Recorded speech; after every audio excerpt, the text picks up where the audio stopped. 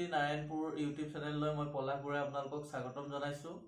আজি আমি computer basic কনচেপ্টৰ ওপৰত আলোচনা কৰিম। আহক আমি সকলোৱে মিলি ভিডিঅ'টো আৰম্ভ কৰোঁ। আলোচনা কৰিম introduction of computer what is computer history of computer computer generation basic type of computer basic hardware components of computer computer software and hardware network internet আৰু ইমেইল এতিয়া আমি চাম ইন্ট্ৰডাকশ্যন অফ কম্পিউটাৰ কম্পিউটাৰ কাক বোলে ইয়াতে computer বিভিন্ন ধৰণৰ definition আছে। ইয়াতে আমি এটা খুব সহজ ডেফিনেশ্যন আৰম্ভ কৰিছোঁ। এতিয়া computer is an electronic device for storing and processing data typically in binary form according to instruction given to in a variable program actually computer এটা ইলেক্ট্ৰনিক ডিভাইচ বুলি কোৱা হৈছে যি ডাটাসমূহ সংগ্ৰহ কৰে আৰু ই প্ৰচেছ প্ৰচেছ কৰি পেলাই এটা নিৰ্দিষ্ট ৰিজাল্ট উলিয়াই দিয়ে। আমি কম্পিউটাৰ ফুল ফৰ্মৰ বিষয়ে আলোচনা কৰিম। কম্পিউটাৰ শব্দটোৰ ফুল ফৰ্ম আছে।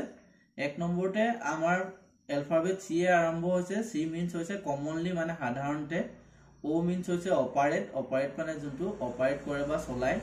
এম মানে হৈছে মেচিন পি মানে হৈছে পাৰ্টিকুলাৰলি ইউ মানে হৈছে ইউজ ফৰ টি মানে হৈছে ট্ৰেইনিং ই মানে ইডুকেশ্যন আৰ মানে ৰিচৰ্চ এতিয়া কম্পিউটাৰ ফুল ফৰ্মটো হ'ল commonly operated machine particularly use for training education and research কম্পিউটাৰৰ বিভিন্ন ধৰণে ভাগ কৰিছে।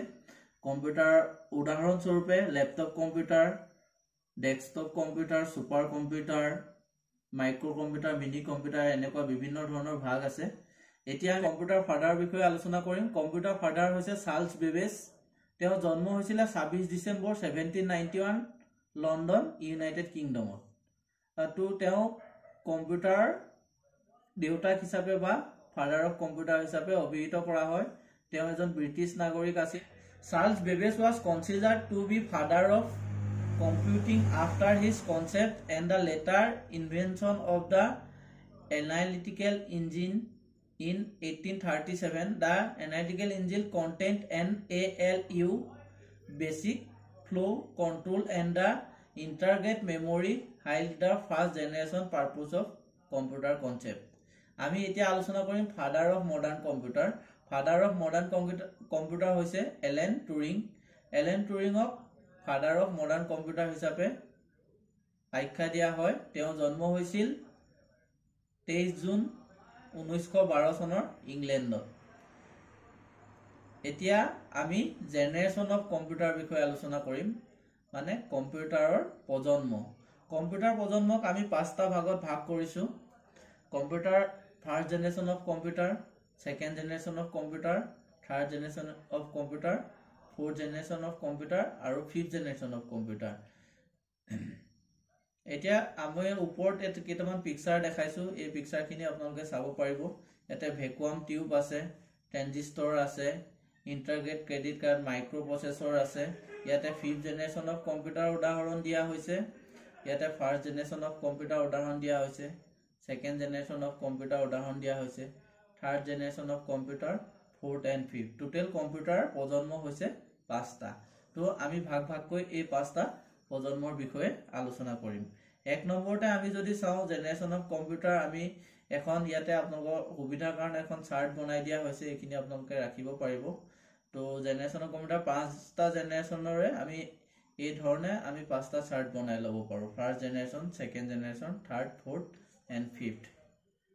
তো পঞ্চম জেনেৰেশ্যনৰ কম্পিউটাৰ বৰ্তমানলৈকে চলি আছে।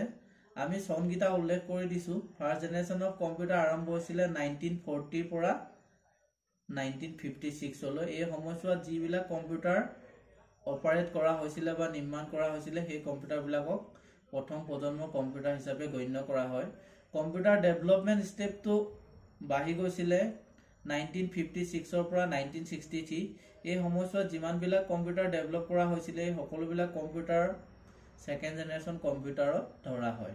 ইয়াৰ উপৰিও আমি ইয়াৰ পিছৰ প্ৰজন্মৰ কম্পিউটাৰটো হৈছে যে থাৰ্ড জেনেৰেশ্যন অফ কম্পিউটাৰ ইয়াৰ চনটো হ'ল nineteen sixty four to nineteen seventy one. আৰু ফ'ৰ্থ জেনেৰেশ্যন অফ কম্পিউটাৰ হৈছে nineteen seventy two to two thousand ten মানে ঊনৈছশ বাসত্তৰ চনৰ পৰা দুহেজাৰ দহ চনলৈকে যিবিলাক কম্পিউটাৰ চলোৱা হৈছিলে বা নিৰ্মাণ কৰা হৈছিলে সেই কম্পিউটাৰবিলাকক ফ'ৰ্থ জেনেৰেশ্যন অফ কম্পিউটাৰ বুলি কোৱা হয়।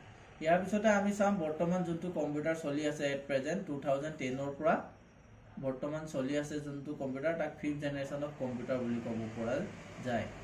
তো আমি এতিয়া প্ৰথম ডিছকাছ কৰিম first generation of computer first generation of computer develop হৈছিলে nineteen forty six to fifty নাইনত ইয়াৰ কম্পিউটাৰ এটা বৈশিষ্ট্য আছিলে যে এই কম্পিউটাৰবিলাকত ভেকুৱাম ইউজ কৰা হৈছিলে ভেকুৱাম টিউব আমি এক্সাম্পল হিচাপে চাবলৈ গ'লে ফাৰ্ষ্ট জেনেৰেশ্যন অফ কম্পিউটাৰ আপোনাৰ UNIVAC I B M seven zero' seven I B M six zero' five তো এনেধৰণৰ কম্পিউটাৰ আমি এক্সাম্পল হিচাপে পাইছোঁ। ইয়াতে ফাৰ্ষ্ট জেনেৰেশ্যন কম্পিউটাৰ আমি কেইটামান ফিউচাৰ্ছ মানে বৈশিষ্ট্য উল্লেখ কৰিছোঁ। এই কম্পিউটাৰবিলাক অলপ ডাঙৰ আছিলে আকাৰত আৰু এই ইয়াতে ইনপুট আউটপুট আছিলে কিন্তু ইয়াক অতি সহজতে প্ৰচেছ কৰিব পৰা নাছিলে। ই গধুৰ আছিলে আৰু সহজে ইঠাইৰ পৰা ইঠাইলৈ নিব পৰা নাছিল আৰু ই ব্যয়বহুল আছিল আৰু ই যথেষ্ট লেহেমীয়া গতিত চলিছিল। তো আমি বৰ্তমান ফাৰ্ষ্ট জেনেৰেশ্যন অফ কম্পিউটাৰ বিষয়ে জানিছোঁ। আমি এতিয়া ছেকেণ্ড জেনেৰেশ্যন অফ কম্পিউটাৰ বিষয়ে অলপ আলোচনা কৰিম। তো ছেকেণ্ড জেনেৰেশ্যন অফ কম্পিউটাৰ হৈছে nineteen fifty nine to nineteen sixty five এই সময়ত যিবিলাক কম্পিউটাৰ ডেভেলপ কৰা হৈছিলে ইয়াকে ছেকেণ্ড জেনেৰেশ্যন অফ কম্পিউটাৰ বুলি কোৱা হয়।